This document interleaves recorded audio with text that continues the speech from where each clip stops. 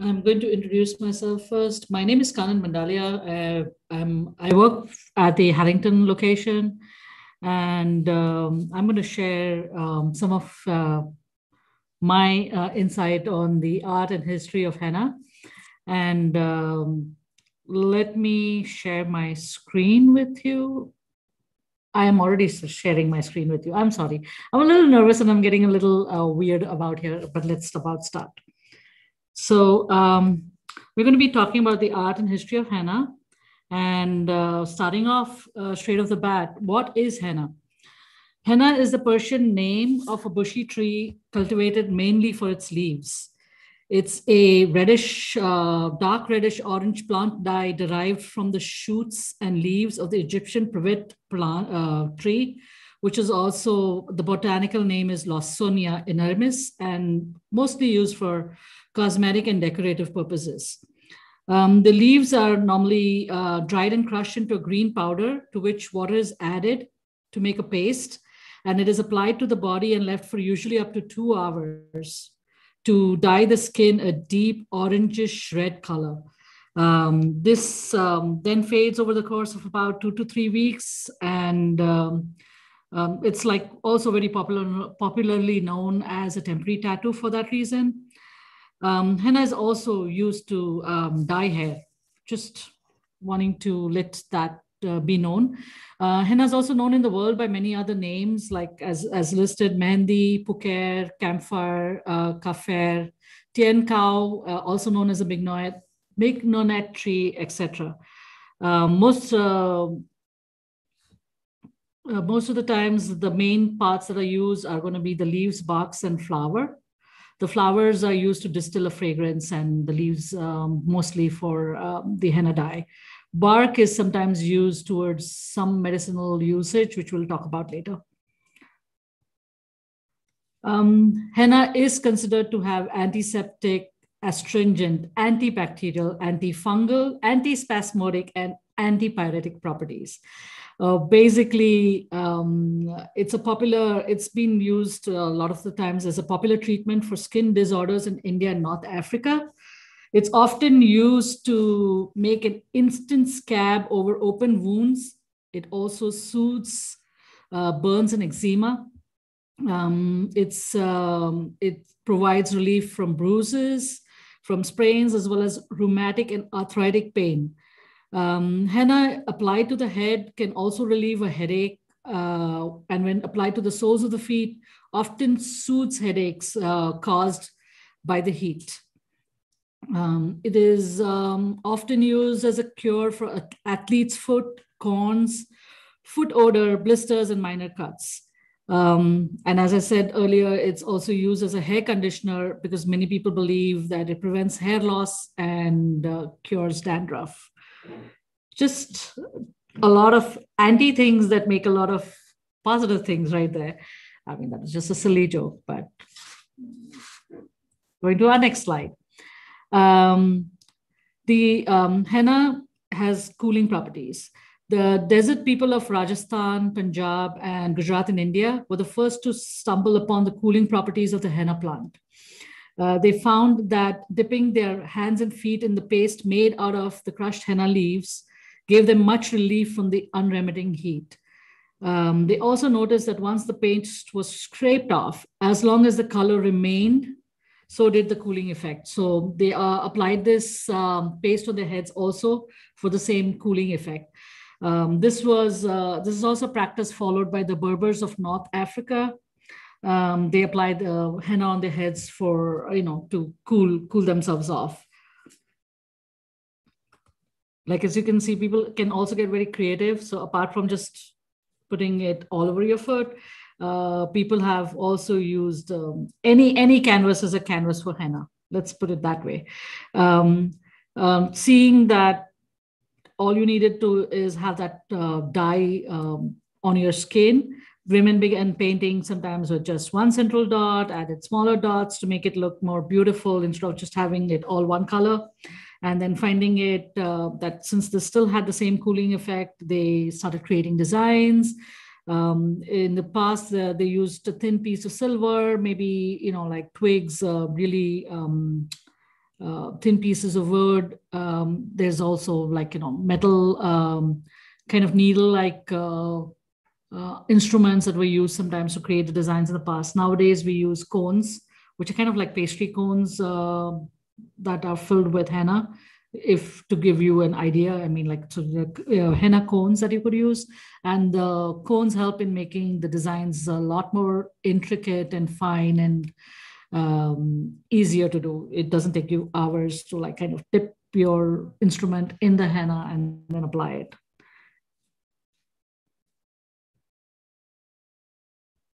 I just wanted to add before we go to the next slide, as henna um, uh, leaves are considered body cooling and astringent.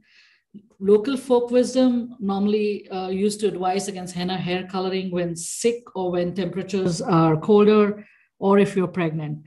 But it depends on what part of the world you're from and if you believe in that. So just uh, wanting to share that. Going into the history of henna. Um, there is evidence that the Neolithic people in the uh, Katal used henna as far back as 7 BC to ornament their hands. The earliest written evidence mentioning henna being specifically used for a bride is inscribed on a tablet dating back to 2100 BC, found in northwest Syria. It has also been very extensively used in southern China to, uh, you know, decorate the, the nails. Nails have been very popular. Henna, and uh, that was the old, I guess it was the oldest version of nail polish uh, you know, like, and then it lasted quite a bit. You, and you didn't have to worry about it peeling off, except that it grew. As your nails grew, the, the stain uh, also moved, so you had to keep restaining your nails. The picture that you see are uh, henna blossoms.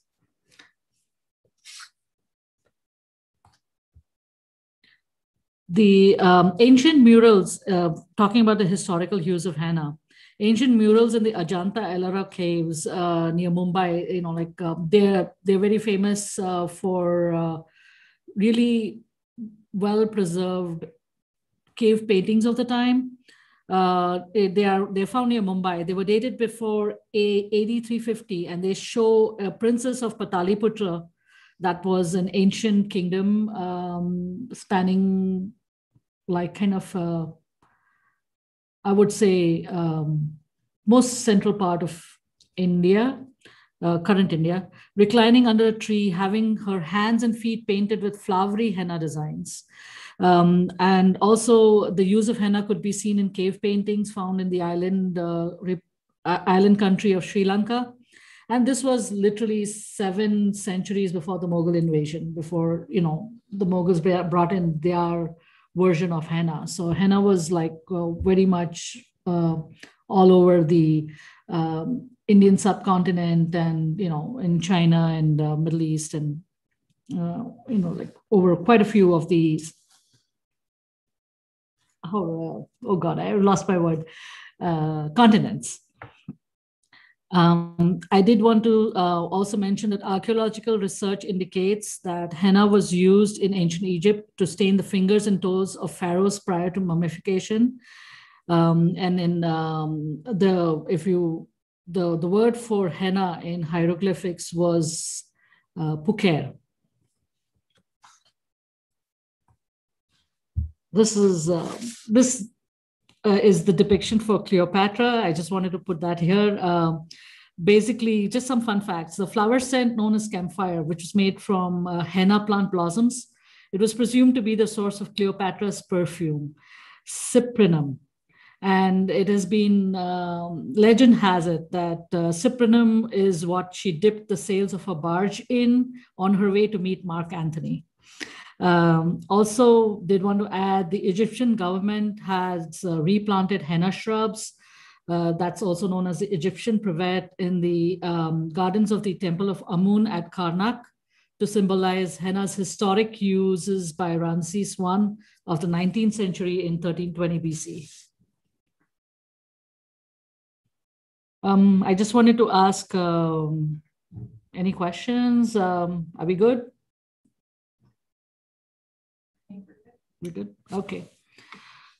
Talking about the art of Mehendi. Uh, Mehendi is another word very popularly used in the Indian subcontinent or Southeast Asia, uh, known because it's the word in Hindi and Urdu, uh, and uh, also Um, if we use the word henna, it's pronounced as hina. It's not more like henna, it's more like hina or mehendi. It's practiced in Pakistan, India, Africa, and the Middle East since ancient times, especially for um, special occasions like birthdays, festivals, weddings, um, etc. In Turkey, on the henna night, during the celebrations, the bride's right hand is decorated with henna, during which silver and gold coins are pushed into the palm of her hand with uh, the wish that it would always remain active. Uh, in Afghanistan, um, henna is uh, said to bring good luck and happiness. So, um, um, you know, like um, henna and uh, I guess good luck and happiness was hands in hand. Mehndi night is where the bride family and brides get to, uh, sorry, bride family and friends get together to celebrate the upcoming wedding. It is customary for the bridegroom to supply the bride and other female members of the family with henna. And uh, it much is made of its arrival. Like it's it's uh, when the henna is, it, it's normally done um, a couple of days before the actual uh, wedding.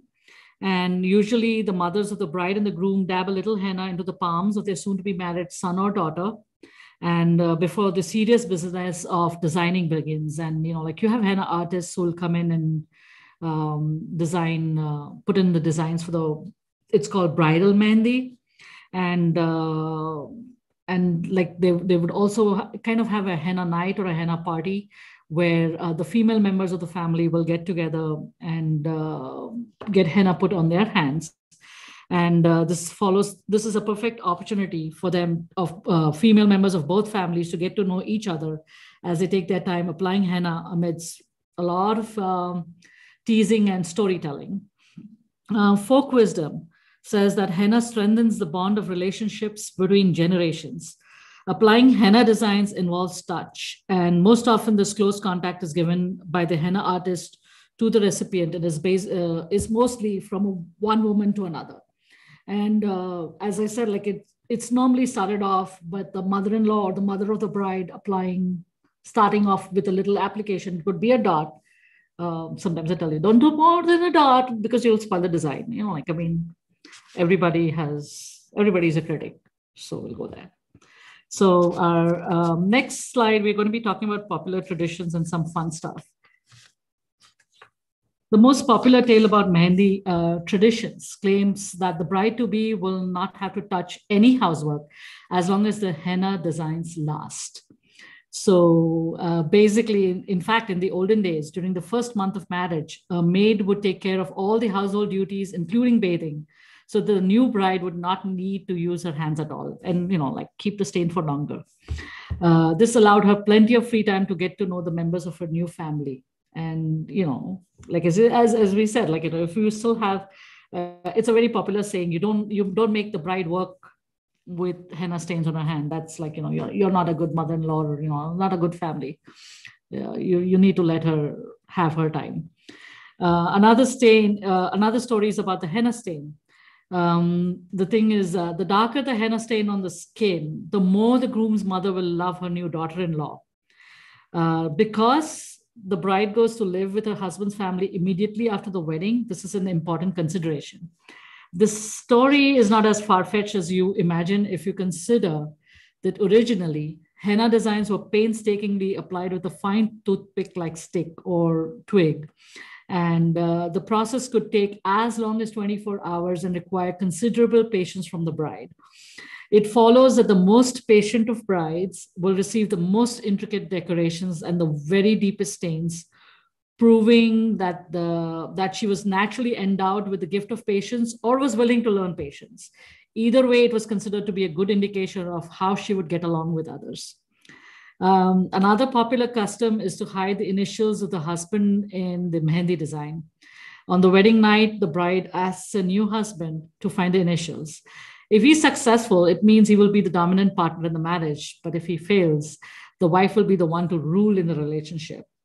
Um, naturally, as you can guess, the Mehendi artists go to great lengths to conceal the initials and the intricate designs. In fact, they have fun in between this fight between the groom and the bride. And uh, in fact, uh, nowadays, um, young brides have become very, very creative about way they want to be hiding the initials.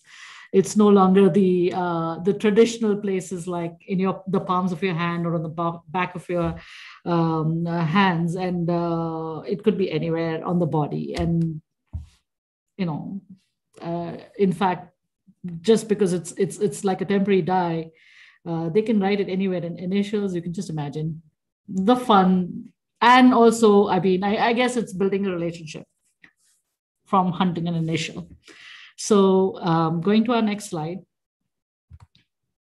Um, before we go to our next slide, I, I mean, if anybody has uh, uh, anything um, similar to share from their um, um, culture, if you are, you know, um, if you use henna or you have some acquaintance with it or you've heard some other story, please feel free to share with it, share that with us in the chat.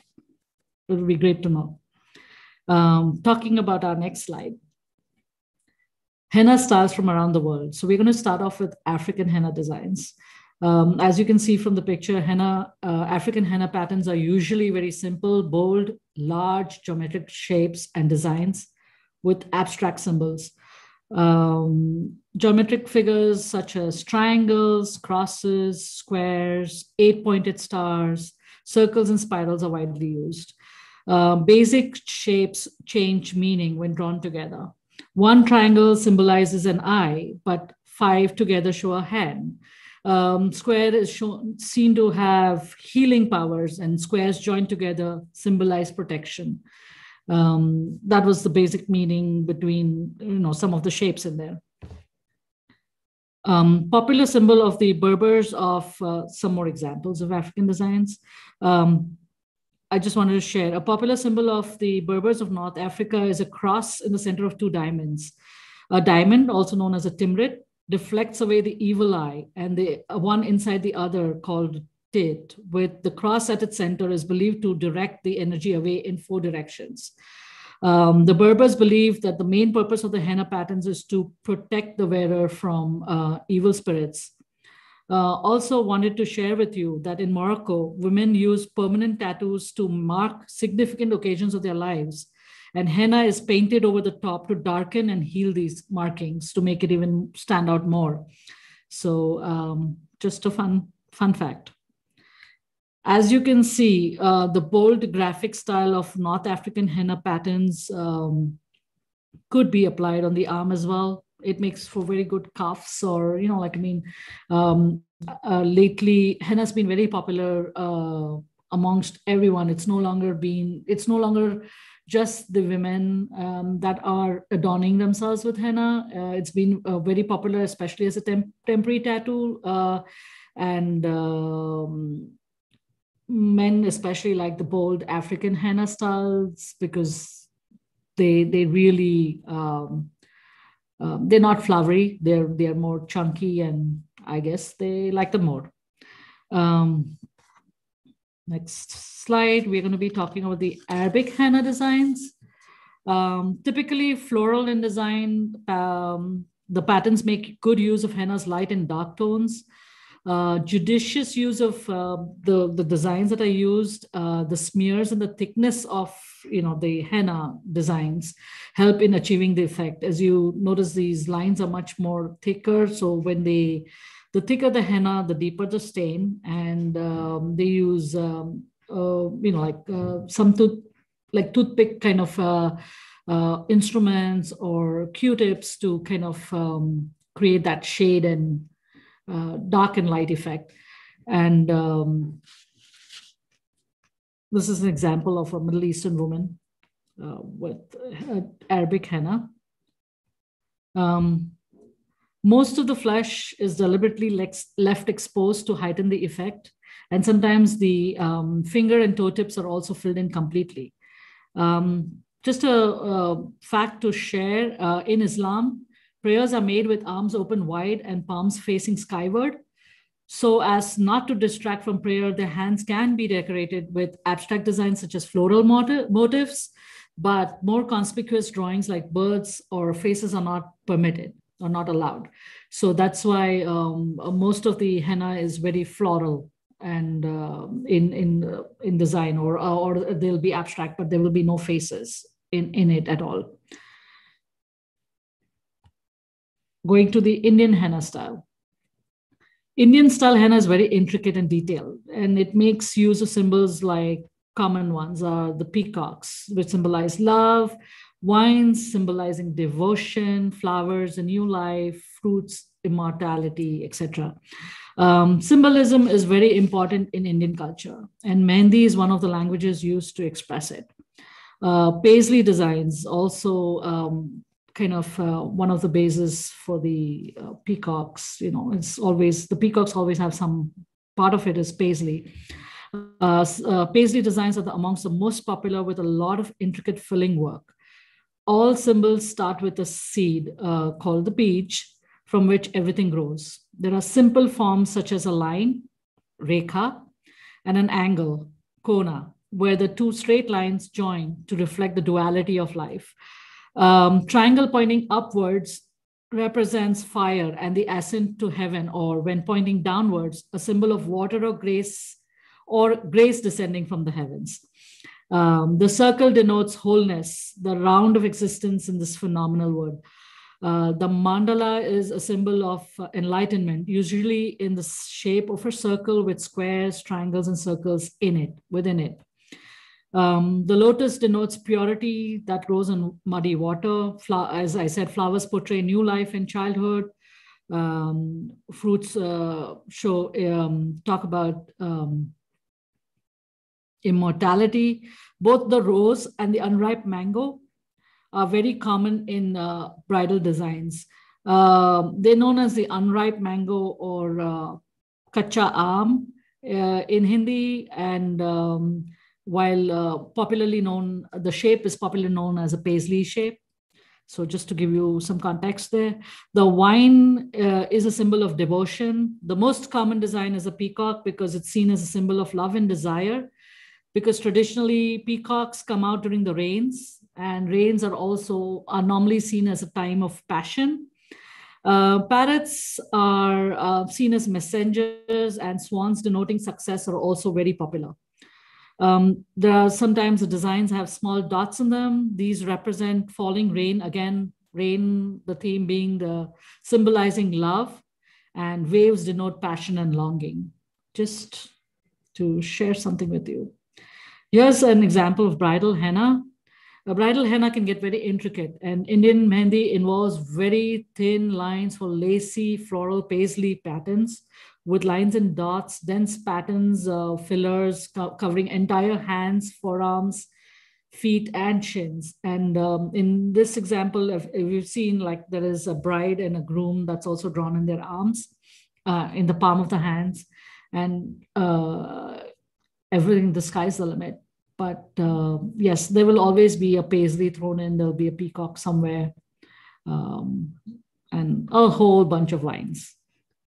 Just share it. Here, talking about global henna styles. Um, today, uh, you will notice um, people all over the world are getting henna applied on their bellies during pregnancies. Um, it's you know henna parties uh, where uh, you know this the the the mother to be gets uh, henna put on her belly, uh, becoming very popular. Uh, they're also very uh, popular with with um, people undergoing chemotherapy because you know it's it's a very wonderful way to kind of um, uplift your spirits when you know you're faced with the loss of hair. And uh, the designs can get really intricate as you can see in some of these.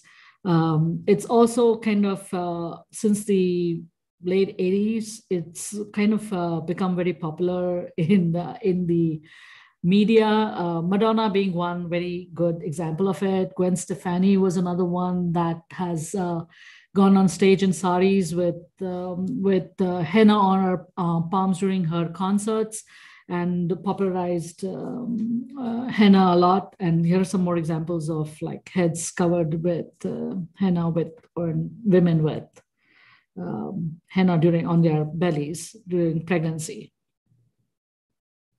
Um, uh, we have, do we have any comments, any questions?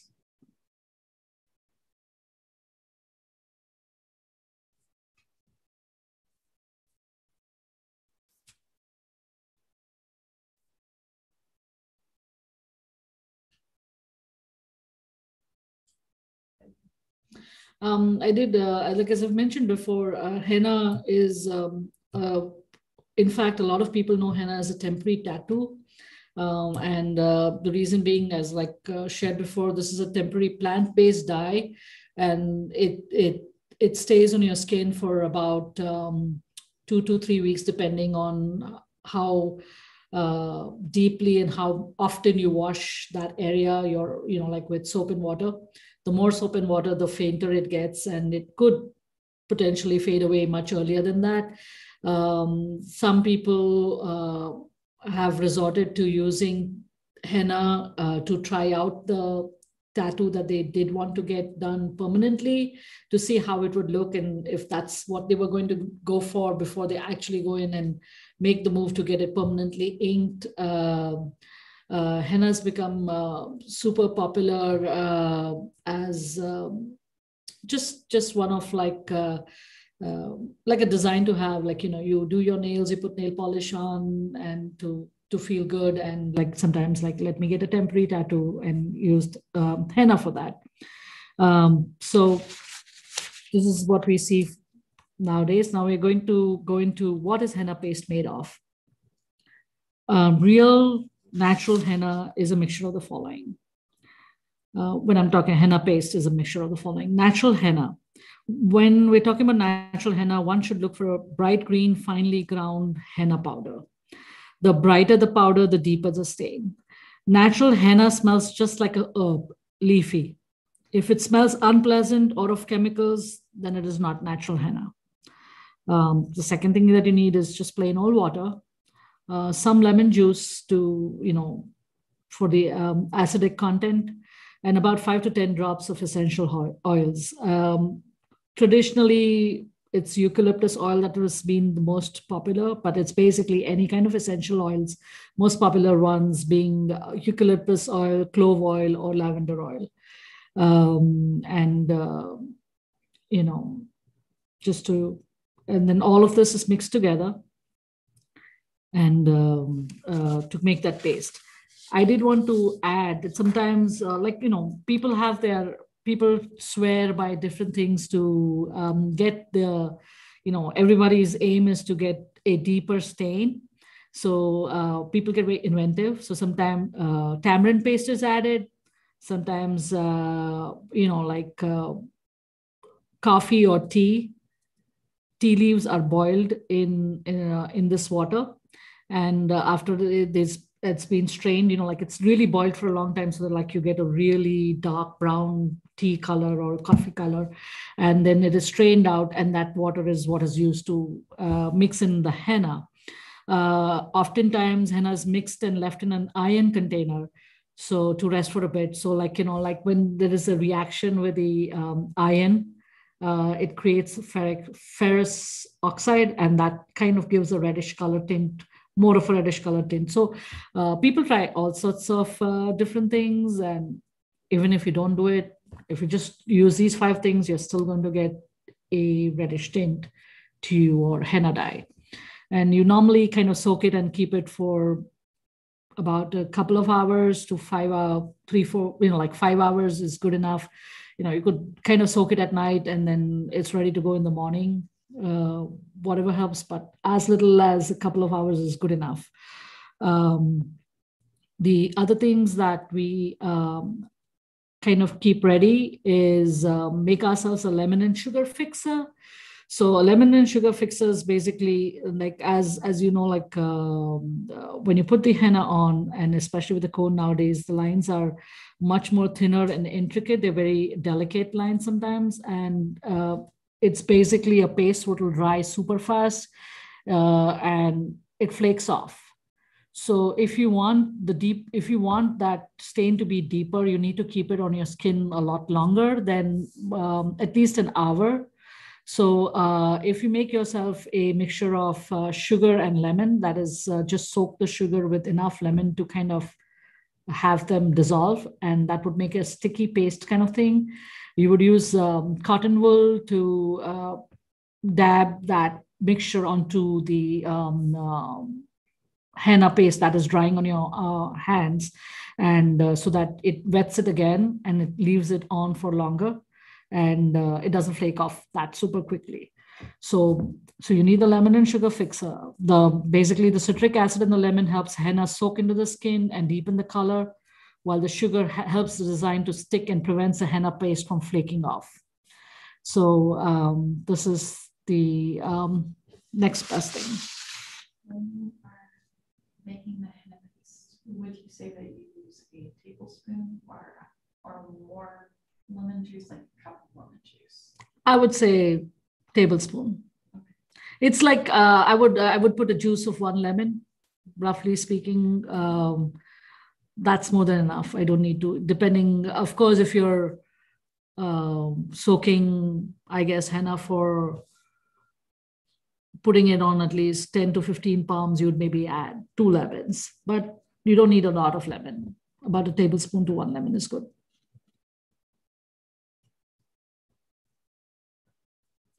Um,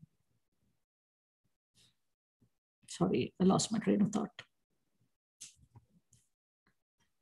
Lastly, when you're purchasing henna, be very careful when buying ready-made henna paste for use. Natural henna will always stain orange to reddish dark brown. There is no other colored henna. If it is other colors, it's not henna. Uh, and if the paste claims to have a black stain, again, that's not natural. Um, this could be black henna, uh, which contains uh, this uh, paraff. I cannot pronounce that whole word, so I'm just going to let you read it. Paraphenyl, phenyl etc. Chemicals that could not uh, that that sometimes on it it it may not react on your skin but it may cause rashes for others. So with everything if you're not sure always do a patch test. You know apply it in the uh, apply it one little dot on the inside of your elbow leave it on for some time. If it doesn't react you're good to go if you're not sure. But for the most part as was mentioned earlier when you smell henna it should smell like dried leaf. It's it's it shouldn't smell uh, obnoxious or something like that because that's not henna. So um, sometimes uh, like uh, people put in um, powdered lime. Well, when we say powdered lime i'm talking kind of like limestone. So to get that because i believe that would make it uh, darker but mostly it's powdered crystal ammoniac or this particular chemical.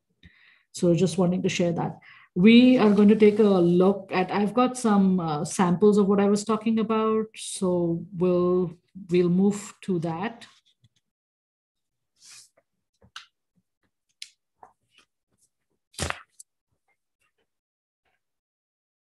Give me one just give me one moment on that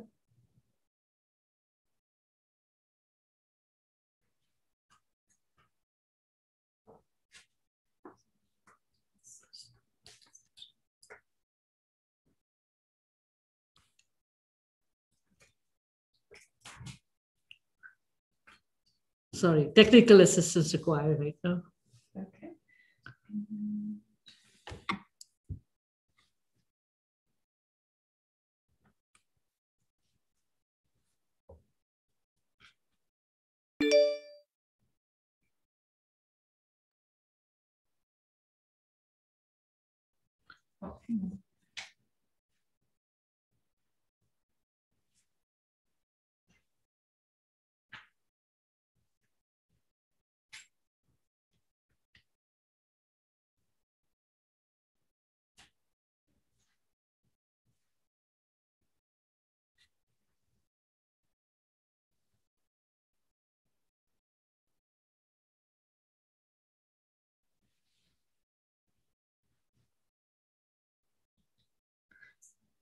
Okay, so sharing with you, this is example of um, henna powder.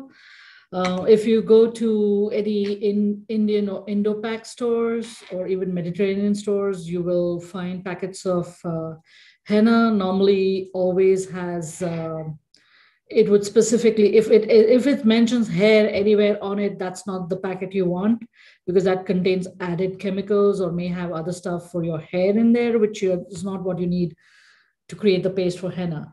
Uh, most of the henna that you would buy has a picture of a bride uh, in the middle with, uh, you know, like with other other friends around, and it would just basically say um, henna or Rajasthani henna or something like that.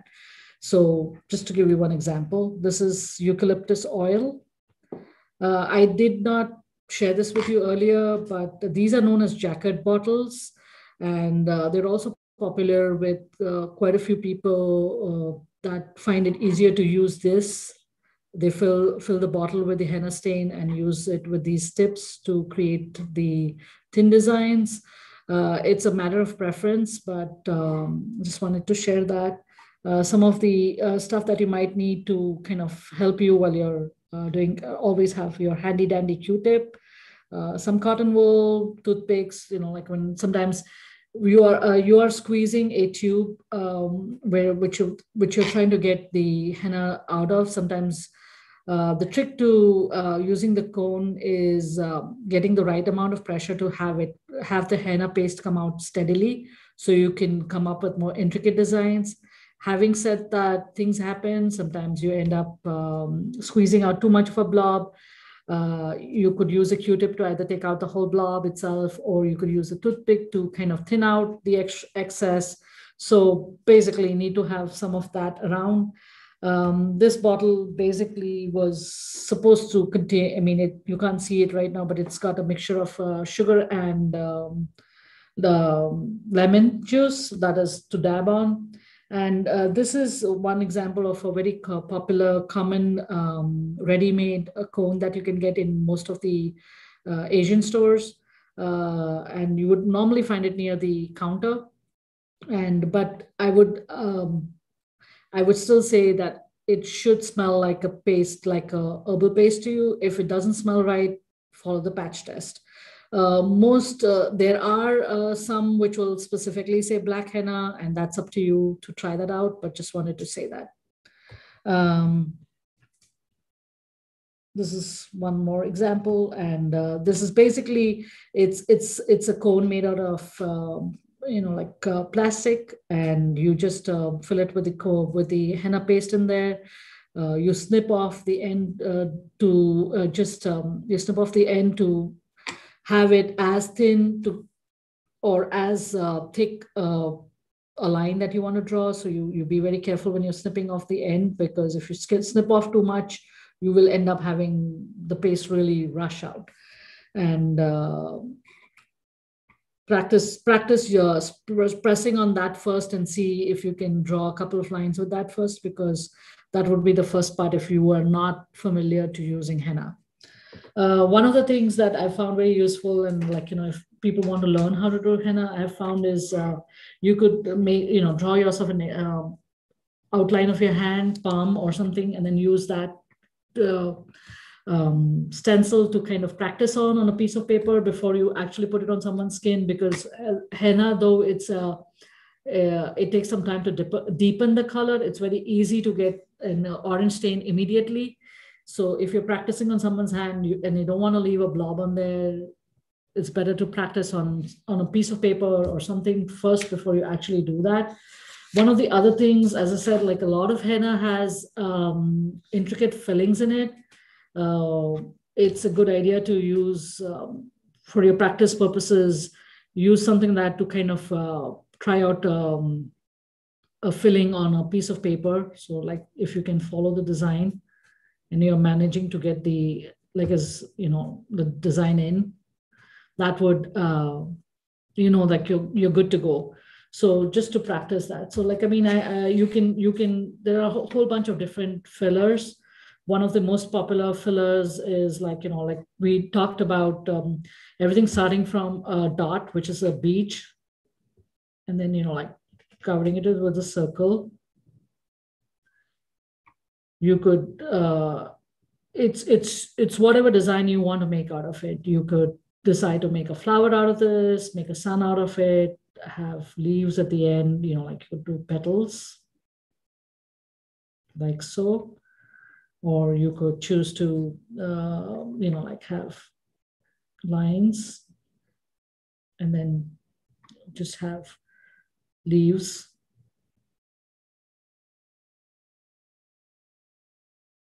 So it's it's it's uh, you could follow traditional designs, you could make your own designs, uh, but uh, you know it's whatever you make of it.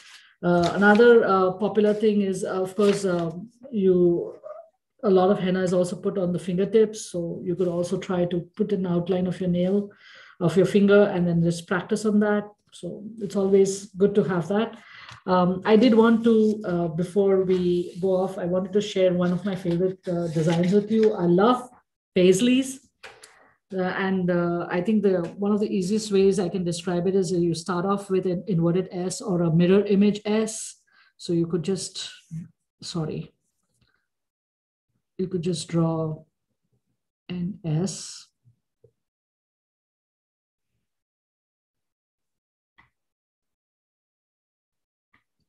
And the uh, to finish the paisley, you would just join the two ends together.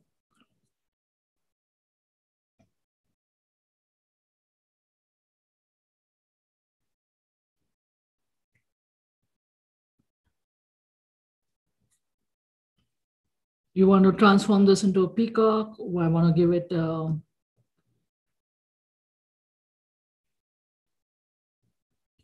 it's it's it's wherever you want to go with it. And uh, then you you would spend uh, you would try to fill up this entire uh, area with fillers.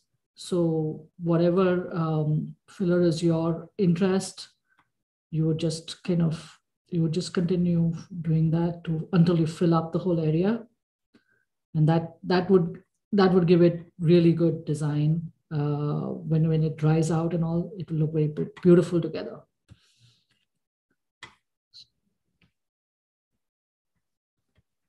One of the other very popular designs um, that you would find in, in Indian henna is a, is a leaf, uh, which is also filled in the same way. So you would kind of, you could be as fluid as you want, depending on what you want to draw. So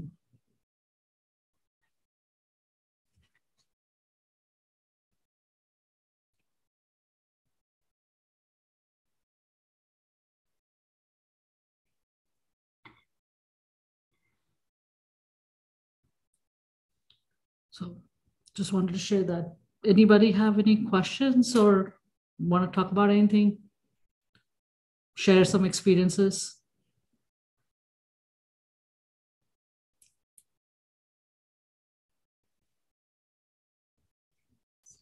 I hope everybody um, had a good time uh, and uh, learned something new about henna. And uh, it was good to have you with us.